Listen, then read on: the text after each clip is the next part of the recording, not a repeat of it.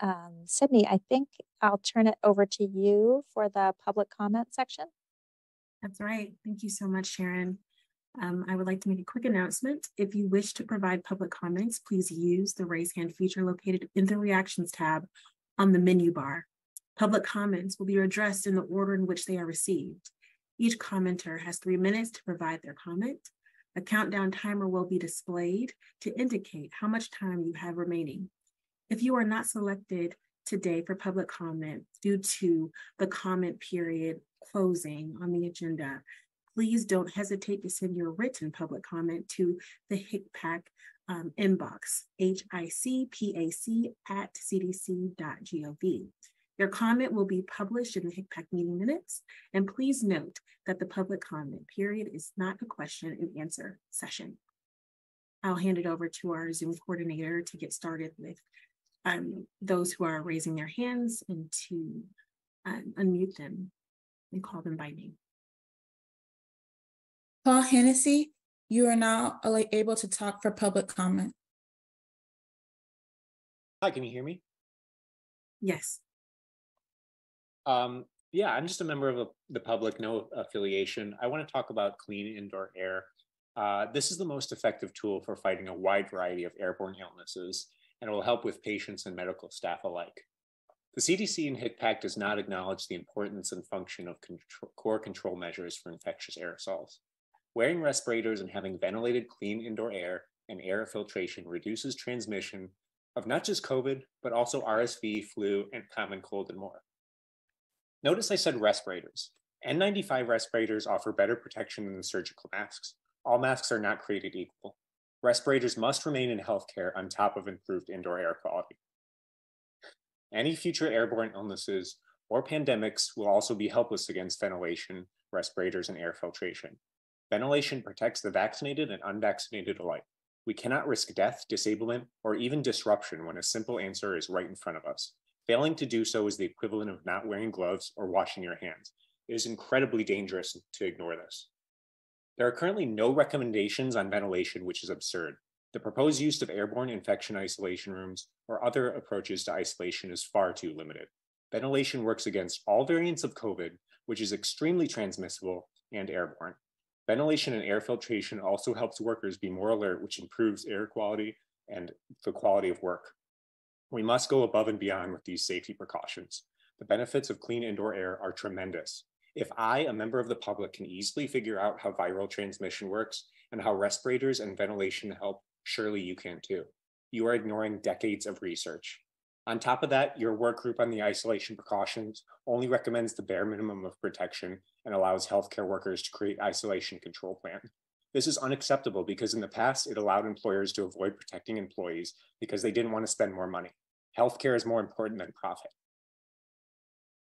I urge the CDC and HICPAC to increase transparency in public engagement because of situations like this. We deserve input on protecting ourselves from airborne infectious diseases the current process is flawed and closed off. Thank you. Thank you, Paul, for your for your comment. You can move on to the next. Deborah Gold, it is now your turn for public comment.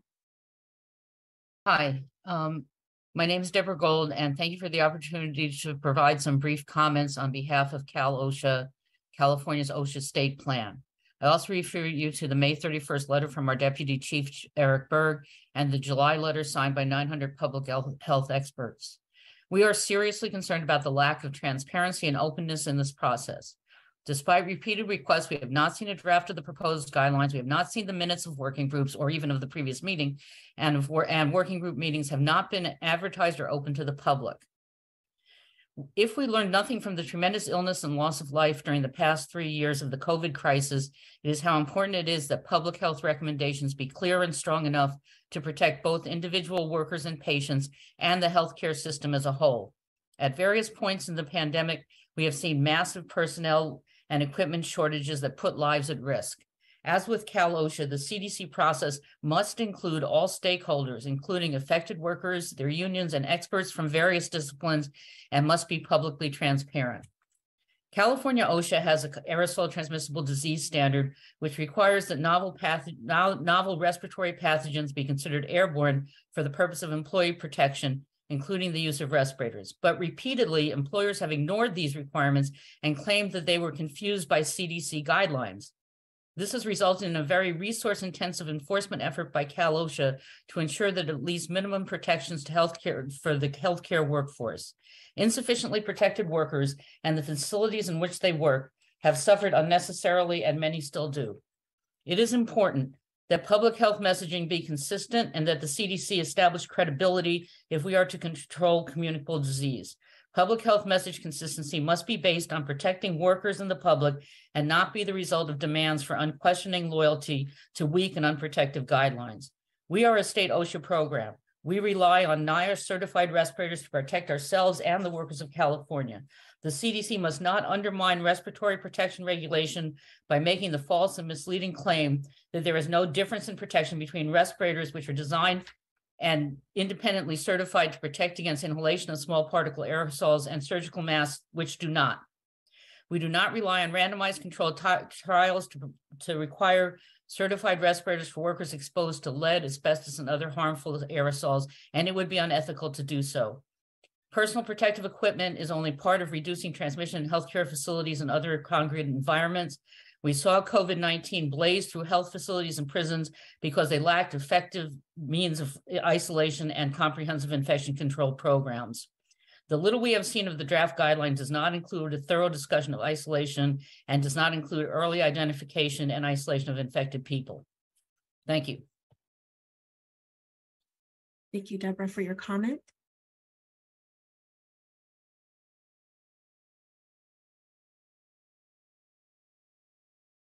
Yaneer Bar-Yam, it is now your turn for public comment.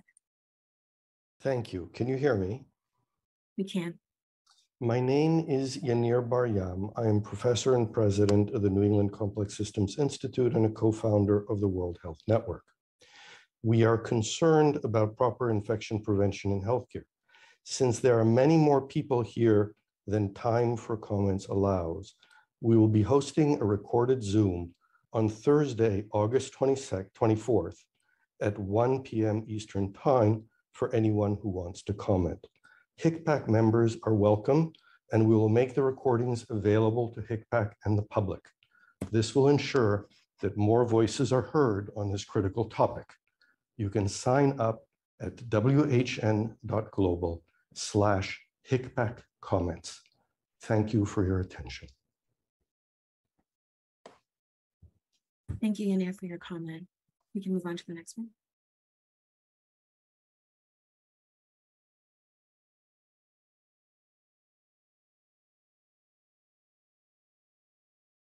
Liv Grace is now your turn for public comment.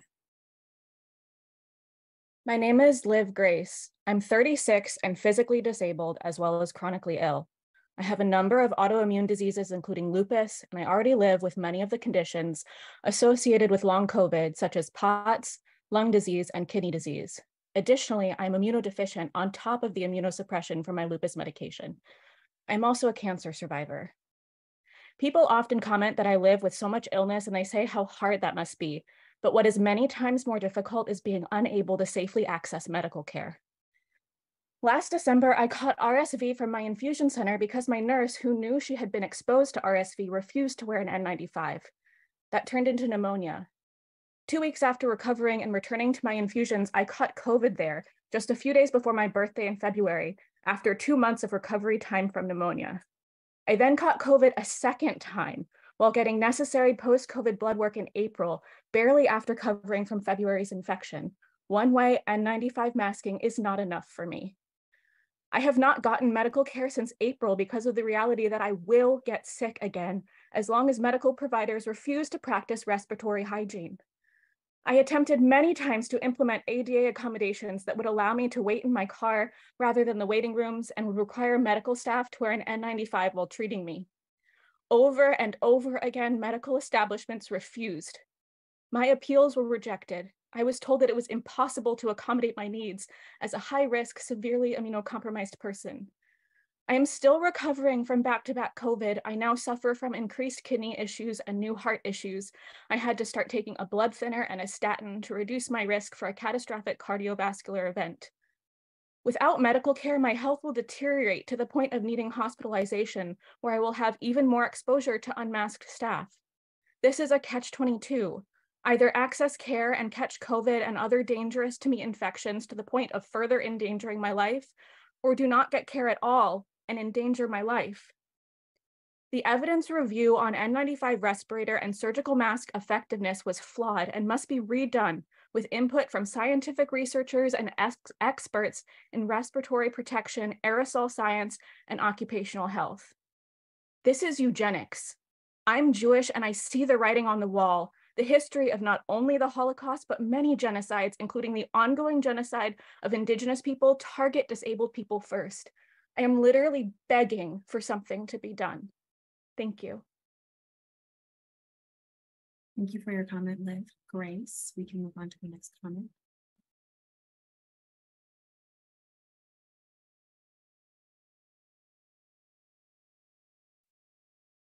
Kaitlin Sundling, it is now your turn for public comment. Hello, my name is Kaitlin Sundling. I'm a physician, scientist, and pathologist in Wisconsin. I have no conflicts of interest to disclose. I'm a member of the People's CDC. I'm speaking today in support of universal masking in healthcare, ideally with broad use of well-fitting N95 or better respirators as a new addition to standard precautions. Now is the time to use what we've learned from HIV and bloodborne pathogens, matching our understanding of the science of aerosol transmission to our precautions in healthcare allows us to work to build public trust and destigmatize aerosol transmitted infectious diseases, especially where asymptomatic transmission is common, as with COVID. Denying the well-proven science of N95 respirators would be a significant step backwards. There is no physical basis to support the idea that different aerosol pathogens travel different distances. Appropriate isolation for known or suspected aerosol pathogen infections of any kind, including COVID, must include N95 respirators at minimum and appropriate ventilation controls. I want to share a couple of experiences where universal airborne precautions would have prevented exposure from my own work as a pathologist and as medical director of a health professional training program. While I was in my fellowship training at a well-known Boston hospital, I found out I had been exposed to tuberculosis when I had performed a small biopsy of a neck lymph node on a patient who, as far as we knew, lacked any symptoms or history that would have caused us to suspect the infection. More recently, one of my students was also exposed to tuberculosis on a lung biopsy procedure where cancer had been the suspected diagnosis. If we only protect ourselves against known or certain exposures, we put both patients and workers at risk. We need to expand, not reduce, the use of N95 or better respiratory protection, including elastomeric respirators with source control and PAPRs in healthcare settings. Lastly, and most importantly, we have a duty to protect our patients. I've had multiple people in my community ask if I, as a pathologist and laboratory-based clinician, can be their primary care provider. It is incredibly sad to me that so few of my fellow healthcare providers are wearing masks to protect themselves and their patients, and some are not even willing to mask upon request. Where providers are masking, our patients, including those who are immunocompromised, still face unmasked waiting rooms and other spaces with shared air. Should patients have to ask their surgeon to wear sterile gloves? Putting the burden of protection on patients is not an appropriate infection control approach. In conclusion, I call on you, members of the CDC's HICPAC committee, to recommend universal masking in healthcare, ideally with the broad use of well-fitting N95 or better respirators as a new addition to standard precautions. Thank you. Lynn, thank you for your comment. Move on. Gwendolyn Hill, it is now your turn for public comment. Hello, my name is Gwendolyn Hill, and I'm a full-time student at the University of California, Los Angeles, as well as a research intern at Cedars-Sinai Medical Center. I've now had three confirmed cases of COVID despite my best efforts to avoid infection. And my most recent infections have resulted in long-term symptoms such as gastrointestinal issues, trouble breathing, heart palpitations, and chest pain, all of which require me to go to the hospital. Before COVID, I had been extremely active with no standing health problems. Now I fear even more for my for my health as Los Angeles County has dropped the mask mandate in healthcare as of August 11th. Myself and my friends and family have been actively avoiding going to the hospital to receive the care we need because we cannot risk another COVID infection or any other respiratory infection. And when I put in requests for providers to wear N95s, they get denied. Unfortunately, as a student of, at UCLA, I cannot put my life on hold. I am forced to go into classrooms where no one is masking, forced to choose between my career and my health. At the very least, I expect healthcare facilities to be taking the utmost precautions to prevent healthcare acquired infections. The United States Environmental Protection Agency recognizes that COVID is spread through aerosolized particles. Therefore, standard precautions due to transmission by air should involve universal, high quality, well fitting N95 masks, frequent testing, proper ventilation, air cleaning and purifying technology, isolation, and other PPE. As you suggested during the meeting, the fewer individual risk assessments that each person has to do, the better. People need to be able to trust that the guidelines in place ensure their safety. The standard precautions you provided today in the meeting mentioned a risk assessment with use of appropriate PPE based on activity. However, although you can claim that one might not always need to wear gloves if their duties are just sitting at a computer, everybody shares the activity of breathing. Healthcare facilities are where some of the most vulnerable people of our population have to frequent or stay. It is the responsibility of HICPAC and the CDC to ensure on a federal level that healthcare facilities are taking the aforementioned steps to reduce COVID transmission and help ensure that people are not leaving sicker than they came. As the committee understands, once rules are put into place, they become habitual practice for people. Our bodies are fueling the COVID variants that continue to emerge. When COVID is copying itself inside millions of people unchecked, it continues to harm people and, and place extreme strain on our healthcare system. I urge HICPAC and the CDC to take in these public comments and perspectives with open minds and to open further meetings for public comment and for public input. The people are telling you exactly what needs to be done to protect us, and I urge you to listen. Thank you. Thank you, Gwendolyn, for your comment You move on to the next comment,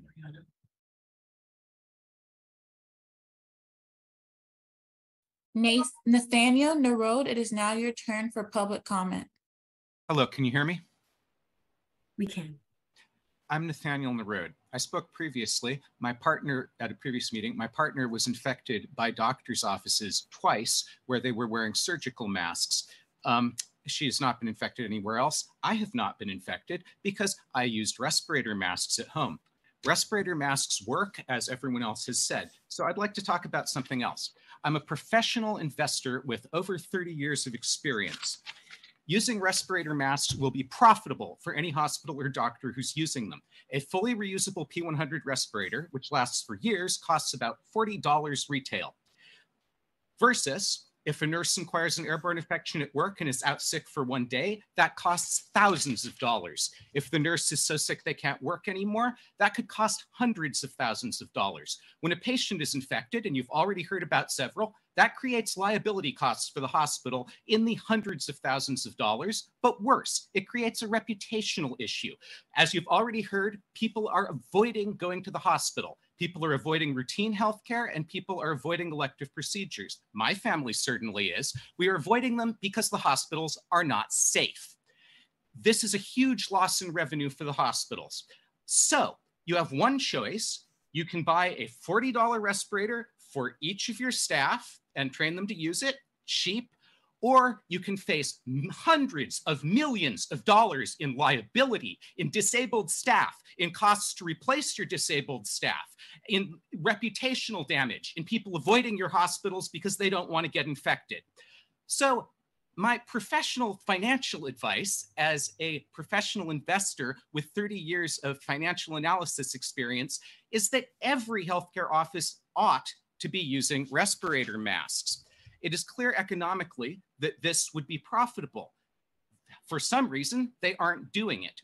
It should be standard precautions. It should be ordered from the CDC, and there is no reason to give them any discretion because they will all profit from doing it. Thank you. Thank you for your comment, Nathaniel. We can move on to the next comment. Brianna, thank you. Peg Sim Seminario, it is now your turn for public comment.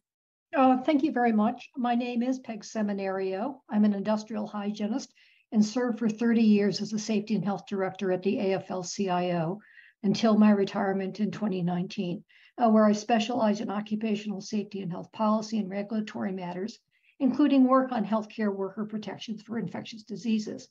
I was one of the authors of a letter to CDC Director Mandy Cohen from 900 public health and medical experts in July, expressing great concern about CDC HICPAC's update of the guidelines on isolation precautions, both about the closed, non-transparent process and the failure to address and protect against aerosol transmission of infectious diseases. Late Friday, uh, we received a response from CDC to our letter, informed us that HICPAC would not be voting on the recommendations today, um, which we appreciate. But we are deeply dismayed that the CDC response did not address any of our substantive concerns about the weakness of the guidelines, nor provide any indication that CDC or HICPAC intend to open up the guideline development process to involve key experts and stakeholders. We urge you to change course. The majority of HICPAC and work group members are infectious disease professionals from hospitals or large healthcare organizations. They do not include representatives of healthcare workers or patients who have different interests and different views, as we have just heard from many of the commenters. HICPAC members are not experts in aerosol transmission, ventilation, respiratory protection, or industrial hygiene, the kind of experts with deep knowledge and experience on how infectious diseases are transmitted and effectively controlled. For more than three years, we have all been immersed in efforts to protect the public, patients, and healthcare workers from COVID 19 infection and death. We have failed miserably in those efforts. Over 100 million have been affected, affected, over a million people have died. In healthcare settings where we don't have a lot of information, we know that hundreds of thousands of healthcare workers and patients have been infected and thousands have died. And today, those infections and deaths continue to occur. The latest CDC data from nursing homes reports that since mid June, the number and rate of nursing home staff infected with COVID has tripled and more than doubled among nursing home residents. COVID deaths among nursing home residents have increased by 60%. In July, deaths among nursing home residents accounted for nearly 20% of all COVID deaths in the United States. 20% of COVID deaths are healthcare infection uh, related. So clearly, CDC hospitals, infection control professors are still failing to protect healthcare workers and patients. We need to do more. CDC must develop strong infection control guidelines that fully protect against aerosol transmission and open up the development process to include necessary experts and members of the public. Thank you. Thank you for your comment, Peg move on to the next commenter.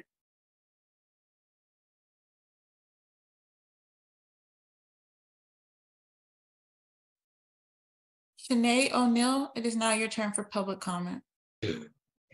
Hi, thank you. Yes, I'm Shay O'Neill, a World Health Network volunteer, a patient, disabled rights advocate, sole caretaker of one son, high risk person with disability, and it's quite obvious that your last discussions from meetings did not inspire confidence amongst the public in your ability to, without bias, pass guidance and standards that will deal with the dreadful rise in infections in healthcare facilities.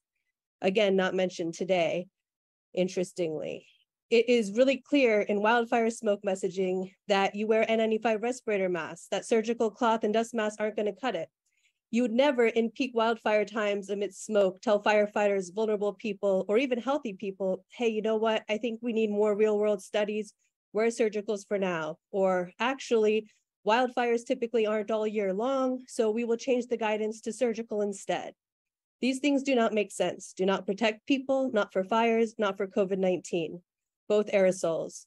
The fact that in your past meeting you used widely criticized mass studies, failed to mention any with continued use of N95s in healthcare settings studies which show that they do lower infections, the fact that you highlighted mass discomfort and ignored long COVID and how damaging and widespread its effects are, I don't know if this is ignorance, immorality, if it's conflict of interest or money or psychological coping at play, but I'll tell you, science and logic are not at the table and they need to be brought back. It is not complex. It is very simple and clear that N95s offer adequate protection from aerosols, that two-way protection is much better than one-way, that hospitals are full of vulnerable populations, that doctors should not infect patients, and that healthcare is a human right. We need N95 respirator masks in healthcare facilities to protect both staff and patients there are many reasons why.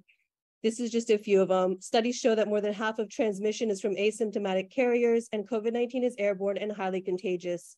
Hospital acquired COVID 19 had a 10% mortality rate. For the past year, nearly a third of COVID 19 cases in hospitals in England were um, hospital acquired infections. A 2023 JAMA study on Omicron variants showed that hospital acquired COVID 19 was associated with approximately one and a half higher risk of all-cause mortality in hospitals compared with influenza. A 2023 study showed COVID-19 infections make people's existing illnesses worse. Research on viral genomic sequences during COVID-19 outbreak in hospitals demonstrated healthcare workers were responsible for much of the spread in the hospital ward. Long COVID continues to cause severe long-term consequences for millions, with one study finding that those that develop long COVID have a 38% chance of developing a disability that prevents them from returning to work another indicating that 27% of healthcare workers develop long COVID. While reported acute phase deaths are down, COVID 19 continues to kill, and many patients in healthcare settings are high risk for severe COVID 19. I'm one of the people who are high risk, and my life depends on getting better protection in healthcare. Thank you. Thank you, Shay. We'll move on to the next commenter. Jocelyn, it is now your turn for public comment. My father is a good man. I'm sorry, my name is Jocelyn Peterson, Jocelyn Donegan Peterson. My father is a good man who always worked hard and gives generously to others. In 2018, he almost died of the flu, which left permanent damage to his heart and lungs. All of his doctors still, still say he can't get COVID. The risk to his life is too great. We and countless others across the nation and globe only go indoors masked in respirators for necessary medical care. It's the only time we go inside. Although my dad can't do many things he should be safely enjoying in retirement with his grandchildren, we are grateful for crucial tools like effective masks, upgraded ventilation, along with the healthcare workers still taking the most protective measures to help us avoid COVID. What continues to horrify and baffle us is that the only COVID risks we are forced to take are when seeking out medical care. Let me say that again. The only COVID risks we are forced to take with his life and our lives and long term health are when we need medical care. That statement doesn't even make sense when you say it out loud, and yet that is the tragic and unavoidable reality for us and so many others right now. The exhausting and necessary risk analysis, whether that medical appointment or procedure is worth possibly contracting COVID, the valid anxiety that now accompanies those appointments and distracts from the medical issue care is being sought for, and the people who have already contracted COVID while seeking medical care.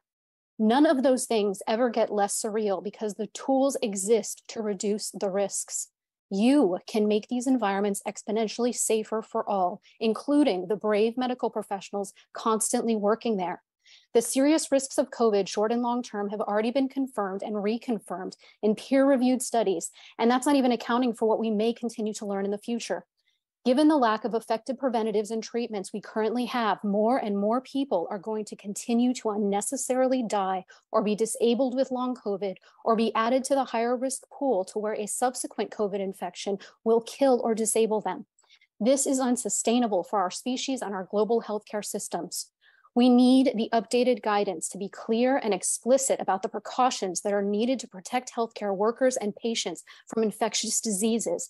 And we need consistent messaging to educate the public about the true dangers of COVID and being disabled by long COVID so they understand and support these protocols. We need you to do everything in your power to protect the lives and physical and mental health of all of us. Most importantly, the highest risk amongst us and our precious healthcare workers. My dad and so many real people, children, fathers, mothers, grandparents, husbands, wives, don't deserve to be abandoned and their lives or long term health put at serious risk just because they need a doctor or a surgery or are fighting cancer or elderly or immunocompromised or work as a healthcare worker trying to help all of those people. You are in a position to help all of them, to help all of us. Please help us. Thank you. Thank you, Jocelyn. We can move on to our next comment. Oliver Wilson, it is now your turn for public comment. Hi, can you hear me? Yes. Uh, Hi, my name is Oliver Wilson, and I'm a member of Massachusetts Coalition for Health Equity. I'm also a white, queer, and tan- trans person, as well as a community organizer and a patient. Today, I'm here to urge HICPAC and CDC to increase transparency and public engagement in the process to update the 2007 isolation precautions guidance. I'd like to share my daily lived reality, just so just like many others have done before me. I can no longer safely access healthcare. I have a health condition that, according to the CDC, puts me at higher risk of severe outcomes from COVID. As a result, I cannot safely access healthcare unless healthcare providers, patients, and visitors are wearing masks. Since the end of the federal and state public health emergency on May 13th, all of my healthcare providers have dropped universal masking. Additionally, all of my requests for universal masking as a reasonable accommodation under the ADA have been denied. As a result, I am locked out of healthcare, and my federal right and human right to safe healthcare is being violated. 200 people from across Massachusetts have signed a public letter saying that they are also locked out of healthcare for the same reason. CDC's disgraceful handling of the ongoing pandemic has directly contributed to myself and many other people being locked out of healthcare. The proposed updates to the 2007 isolation precautions guidance weaken infection control in healthcare settings even further. I urge HICPAC and CDC to increase transparency and public engagement in the process to update the 2007 isolation precautions guidance. So far, CDC and HICPAC's process has been closed to public access or engagement. HICPAC meeting presentations and documents used to make recommendations to the CDC are not posted publicly, in contrast to other federal advisory committees, including those at the CDC. Given the broad, broad public interest in CDC's guidance to protect uh, healthcare personnel, patients, and the public from infectious diseases, it is especially concerning that CDC's HICPAC's process is so closed. I also urge HICPAC to fully recognize aerosol transmission, i.e. inhalation of small infectious particles to ensure healthcare worker and patient protection, and to mandate universal masking using high quality uh, respirators N95 or better in all healthcare settings. Today, I join tens of thousands of people across the US to say that we demand care, not COVID. Thank you. Thank you for your comment, Oliver. We can move on to the next commentary.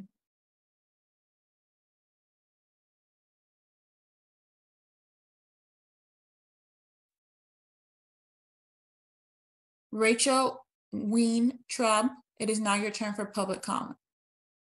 Great, thank you. Good afternoon. Thank you for providing this opportunity to comment today. My name is Rachel Weintraub, Executive Director of the Coalition for Sensible Safeguards, or CSS. CSS is an alliance of more than 170 consumer, labor, scientific, research, faith, community, environmental, small business, good government, public health, and public interest groups representing millions of Americans. We are joined in the belief that our country's system of regulatory safeguards should secure our quality of life, pave the way for a sound economy, and benefit us all. Federal regulations dealing with food and consumer products, safe air and drinking water, safe working conditions, equal opportunity, and reliable financial structures protect all of us from harm. Failure to provide adequate safeguards diminishes our economic well-being, undermines public health and safety, and allows special interests to escape accountability for their actions. We seek to ensure that our critical public protections are not rolled back and that federal agencies have the funding, authority, fair processes in place, and appropriate expertise at the table to defend, promulgate, and strengthen important protections. HICPAC is chartered under the Federal Advisory Committee Act, FACA, and should operate with openness and full transparency. It is from this perspective that we urge HICPAC, the CDC, and the relevant work groups to take the following two immediate actions to correct their review and decision-making processes and recommendations. First, seek input on proposed changes during the development of the draft guidelines from the public and all key stakeholders, including healthcare personnel and their representatives, industrial hygienists, occupational health nurses and safety professionals, engineers, including those with expertise in ventilation, design, and operation, research scientists, including those with expertise in aerosols and respiratory protection, and experts in respiratory protection. Second, make the process for updating the guidelines fully open and transparent. Open work group meetings to the public, through which the work group should show the evidence sources being reviewed by the work group. Post work group reports, all presentations to the work group committee, and transcripts, recordings of the HICPAC meetings on the website in a timely fashion. For example, make meetings of the June meetings available to everyone. As the recommendations are being developed and before finalization and voting by HICPAC, we urge HICPAC to create a public docket on the development of the guidelines that includes all meeting minutes, draft guidelines, all scientific evidence used in the development of the guidelines, and all written comments from the public. Inform the public in advance when there will be a vote. We thank you for making this public comment possible and urge you to take immediate steps to increase the openness and transparency of this process. Thank you, Rachel. Let's quickly move on to the next um, public comment. Hatia Javidan, it is now your turn for public comment. Can you hear me okay? Thank you. Good afternoon. I'm Dr. Javidan, faculty at Stanford University, speaking on behalf of myself as an academic who researches the inequities of pandemic policy um, and who's deeply concerned for loved ones suffering from long COVID or who've been diagnosed with chronic conditions such as cancer during the pandemic, including oral cancers for which they're unable to mask themselves during examinations and treatments. I come before you today to stress the vital importance of ensuring that the updated guidelines being considered fully reflect a solidly scientific understanding of aerosol transmission, especially as confirmed during the COVID 19 pandemic, and that they are crafted to fully protect against infectious aerosols. Please take seriously the hundreds of experts in the most relevant fields who have written a well-informed warning against the plan to weaken guidance for healthcare respiratory protection and infection control. Nosocomial COVID has proven deadlier and more dangerous than community acquired COVID, with a 10% mortality rate, according to the most recent and reliable reports. When healthcare settings are infecting patients while COVID continues to be the third leading cause of death, it deters many from seeking medical care. As someone who insists on high standards of methodology for myself, peers, and students, it is alarming that the CDC and HICPAC process lacks essential input from crucial stakeholders, lacks transparency and public engagement, and encourages minimal standards of protection, which is deeply troubling in light of nosocomial COVID. Experts are urging HICPAC and CDC to open the process for public access and insist on a clear protective approach, recognizing the science of aerosol transmission, including inhalation protection. The existing review on N95 respirator versus surgical mask effectiveness is flawed and requires reevaluation with expert guidance. Failure to acknowledge vital control measures like N95 respirators ventilation and air filtration for controlling exposure to infectious aerosols must be corrected. Rather than regressing backward and erasing pandemic lessons, please maintain and strengthen protocols for prevention and control of aerosolized pathogens in light of SARS-CoV-2. Please center the most vulnerable and understand the unequal and unfair power dynamics of an oral cancer patient having to repeatedly request healthcare personnel to wear an N95 every time they enter the room. Care is a human right. Thank you for your comment. We can move on to the next commenter. Zane True Nafo Cortez, it is now your turn for public comment.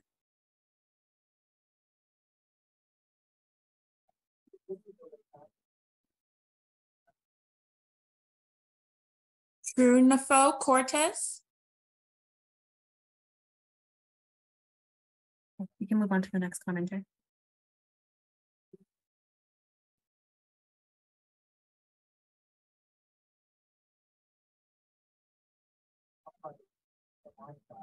Zephyr Al Masih, it is now your turn for public comment.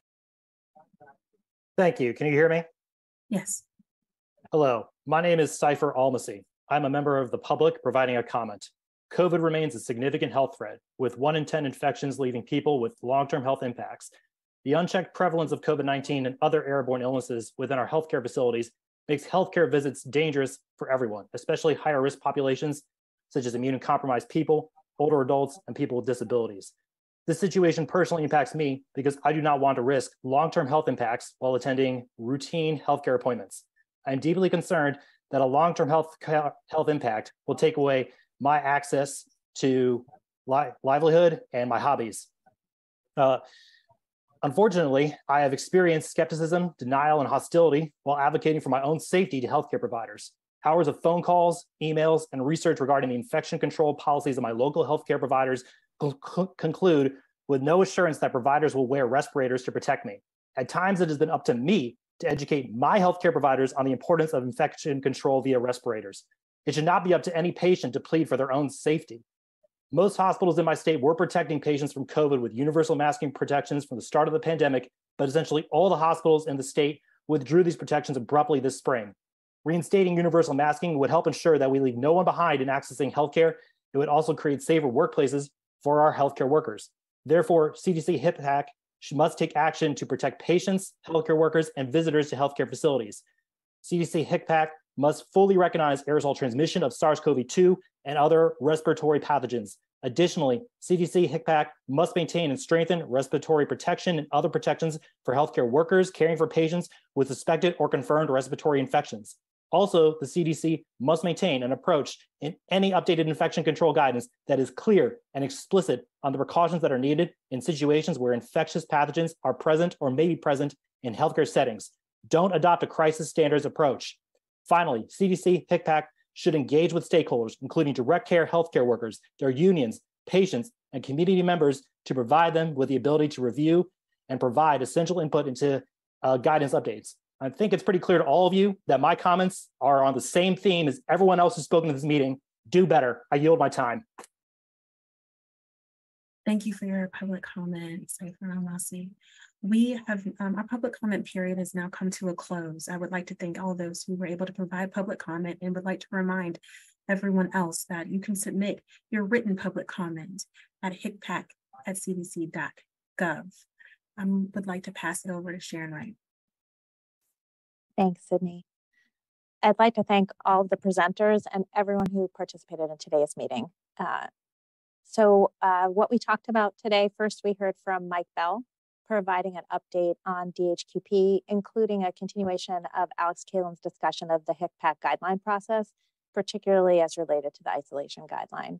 He also mentioned that CDC is working on a respiratory viral index to capture information on incidence of several respiratory viruses with a hope to have this available before the traditional respiratory viral season starts in earnest this fall. Next, we heard an update on the isolation uh, work group, specifically on EBP and standard precautions. There was an informative discussion of enhanced barrier precautions on indications for use for residents with infection or colonization with a multi-drug resistant organism, including considerations for residents uh, at high risk for MDRO colonization, regardless of their MDRO status, such as those with indwelling medical devices. And there was a, a comment raised about use in other congregate settings as well. There was also a discussion of the change from implementation of contact precautions upon room entry to the use of the term designated patient space to apply more easily to all healthcare settings. And we will bring that back to the work group for discussion of the language in this section. The evolution and contents of standard precautions were described. Uh, we talked about core practices being the home for standard precautions with a focus on application by frontline staff, as well as where to place certain components um, and a discussion around naming. If anyone uh, from HICPAC has additional suggestions, please send them uh, to Mike Lin or I. Um, the uh, HCP guideline, we heard an update uh, from Colleen Kraft about the great progress on the guideline uh, for infection control in healthcare personnel, section two.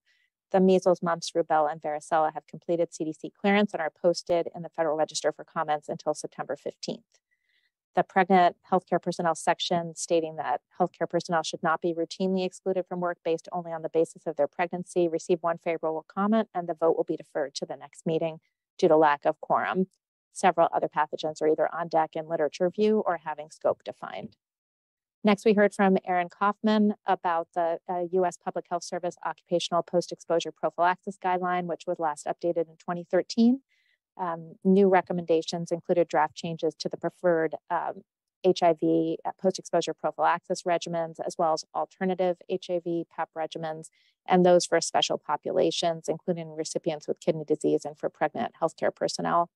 Um, and there was a discussion about uh, recommendations for PEP um, in exposures to source patients with HIV with undetectable viral load um, and an update to recommendations for lab testing.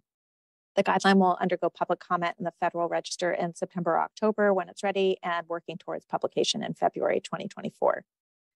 And finally, we heard from Aaron Kaufman again on the patient placement and PPE recommendations for selected viral hemorrhagic fevers at the June meeting, the committee had requested additional clarification on Andes and Nipah viruses, um, and the recommendations were put forward for Andes uh, virus and also clinically stable suspect cases of Nipah to require gown, gloves, eye protection, and an N95 respirator or higher level of respiratory protection and use of an AIIR and the recommendation for either confirmed Nipah virus or clinically unstable suspect cases of Nipah were proposed to use PPE according to the clinically unstable VHF guidance.